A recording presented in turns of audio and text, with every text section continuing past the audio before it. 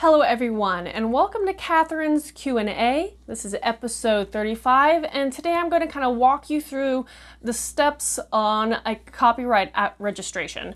So if you've written a book and you're interested in, you know, registering for copyright, uh, you may have some questions on what does that mean, what does it apply to you. If so, I actually have talked about that in a prior uh, episode, so that won't be actually discussed here. But what today is, what I'm going to actually do is literally the step-by-step process on logging into the platform, what you can expect they're going to ask, what kind of information you need to have ready, so your application process is pretty easy, swift, and re relatively painless.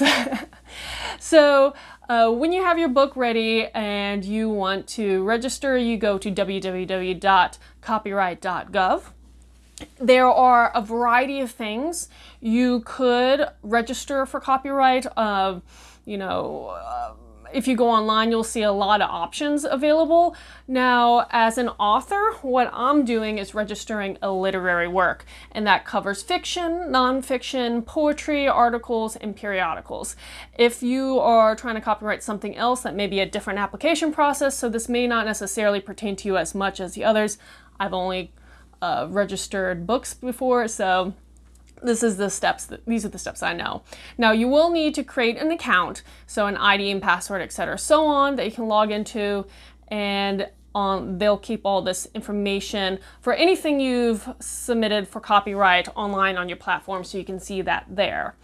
Now, when you get onto the website, again, that's www.copyright.gov, you select literary work, again, if you're an author, and plug in your ID password, get to your personal account, and it'll be begin by asking you for this new work you're trying to register, what is the title? So the title of the book that you are putting in, pretty basic stuff so far.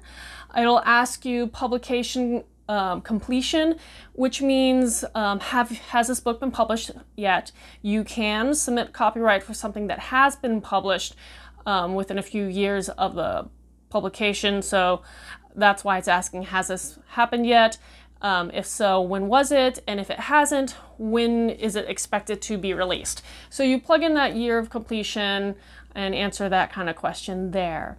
The next thing it'll kind of move along to is your author information. So what is your author's name? Are you a U is the author a U.S. citizen? Are you, which would be you if you're applying for it. And you fill that out there. Uh, is this work a work for hire? And since when you are writing a book and trying to make a living off a book. That doesn't mean you're work for hire. So even if you are using, you know, KDP or Amazon or Ingram Sparks, that's not necessarily work for hire. So for me, that's a no. Now you may have a different reasoning, and so this question may be a yes for you, just depending on what you're doing with your work. But for me, I always put no because I am not a work for hire. I am so the point being is again there are a couple sections on here if you've never gone through it before please check the details because you may be different than what I do uh, for whatever reason. Now the next section that comes up is your author's contribution. As an author, it makes sense that I'm submitting a text. Now there are other options out there as well, but again, for writing just a basic book, I don't do a picture book or anything like that. I don't, I'm not doing a book on photography. So I'm literally just doing text. And so that's what I will fill in right there. The next section is your claimant. And that's where you put your personal name and your information, like your address. Uh, so you'll be plugging this information there and you'll start realizing in a moment how repetitive this is going to be. The next section is your limitations of a claim, and this pertains to, I guess I'll rewind for a second. Limitations of claim for me, I always leave blank because I don't have anything I'm trying to limit out. When I'm submitting a manuscript, I'm submitting the entire manuscript.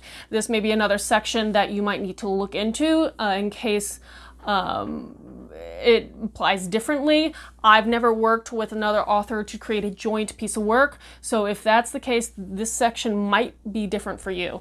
But for me, just submitting one manuscript of one book that I've written, I put no, I don't need to limit anything, so I leave this section blank. Rights and permission is the next section.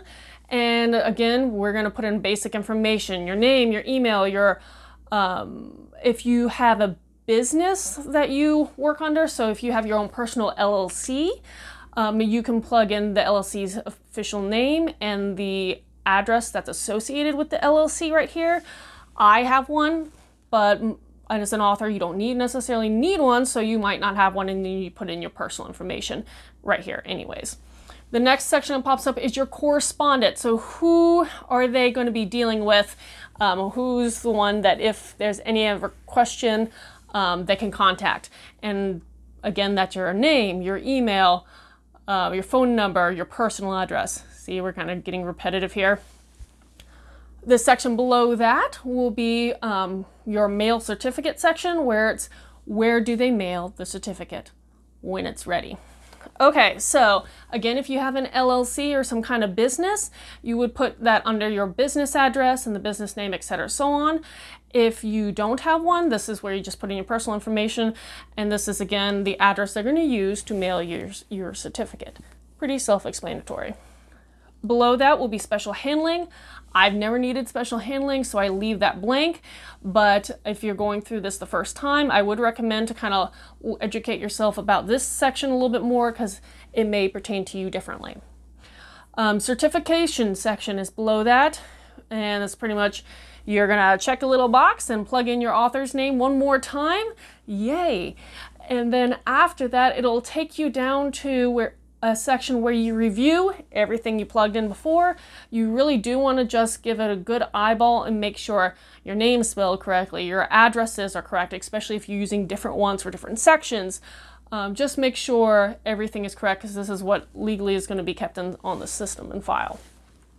Uh, after that, it'll bounce you, when you're trying to check out, it'll bounce you out to a different website essentially where you're going to go through and pay for this application process.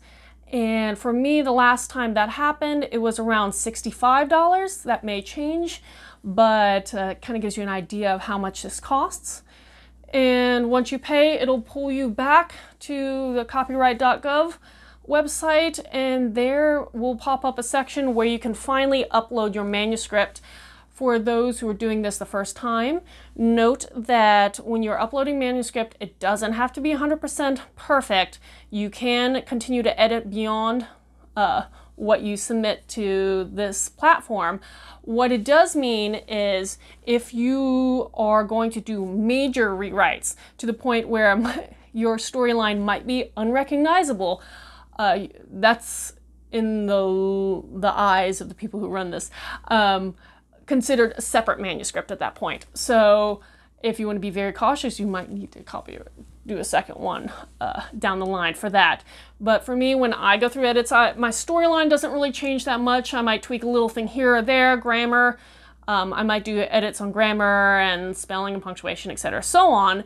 Formatting can change, obviously, because I'll be formatting my book at a later date. But I submit it uh, before I have any beta readers or ARC readers or editors go through it. It's just a way, again, to cover my bases if there ever comes a question of who wrote what first and um, if there's any issues where people are accusing, you know, an author on uh, infringement of copyright, which means um, someone stealing someone else's idea. So I submit mine as early as possible with the note that I'm not going to do any major changes.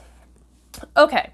But just giving that quick little refresh right there of what kind of where in the stage you submit for copyright. It just depends on you. Some people wait till after they publish. I would recommend doing it a little earlier, but just be be warned.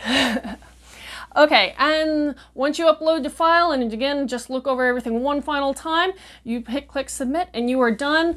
And you can expect in the next couple months, I think it's like two months, maybe six, yeah, two months, six weeks, maybe a little longer, uh, you can expect that copyright certificate in the mail where you keep in a safe space and keep on record. But that's really what my spiel was today. I know that's a very thrilling topic to talk about, but it just gives you an idea of what to expect um, when you're going through the process if you've never done it before. If you have any questions about this or anything else, you can post them in the comments below or message me on my social media. And until next time, Skål.